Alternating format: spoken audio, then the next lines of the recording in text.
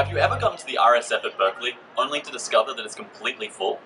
Would it surprise you that Saturday is actually the least busy day for people to go to the gym? Or that the busiest time by far is 4.30 on any afternoon? Our app, PACKD, uses years of card swipe data in order to predict the best possible time for you to go work out.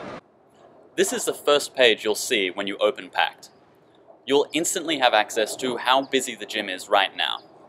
And if you want to plan your day in advance, you can look at our predictive graph, which will say how busy it is for each hour of the day. Also, if you're at the RSF, you can vote.